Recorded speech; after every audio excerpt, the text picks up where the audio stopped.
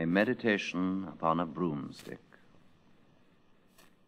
This single stick, which you now behold ingloriously lying in that neglected corner, I once knew in a flourishing state in a forest.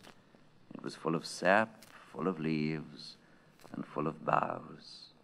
But now, in vain does the busy art of man pretend to vie with nature by tying that withered bundle of twigs to its sapless trunk. Is now at best but the reverse of what it was a tree turned upside down, the branches on the earth and the root in the air.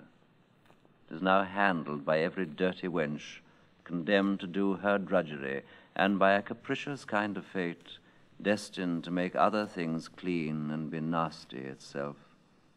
At length, worn to the stumps in the service of the maids, it is either thrown out of doors or condemned to its last use of kindling fires. When I beheld this, I sighed and said within myself, Surely man is a broomstick. Nature sent him into the world strong and lusty, in a thriving condition, wearing his own hair on his head, the proper branches of this reasoning vegetable, till the axe of intemperance has lopped off his green boughs and left him a withered trunk. He then flies unto art and puts on a peruke, valuing himself upon an unnatural bundle of hairs, all covered with powder that never grew on his head.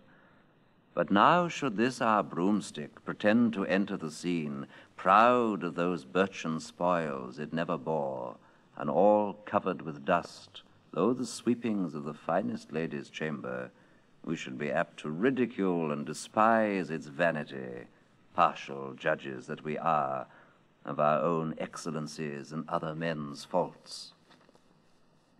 But a broomstick, perhaps you'll say, is an emblem of a tree standing on its head.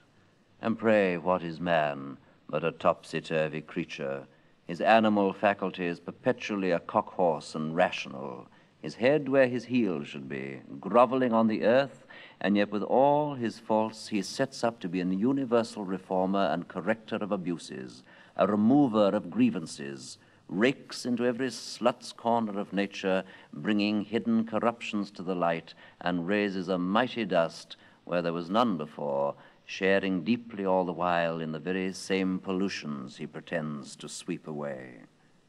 His last days are spent in slavery to women, and generally the least deserving, till worn to the stumps, like his brother Besom, is either kicked out of doors or made use of to kindle flames for others to warm themselves by.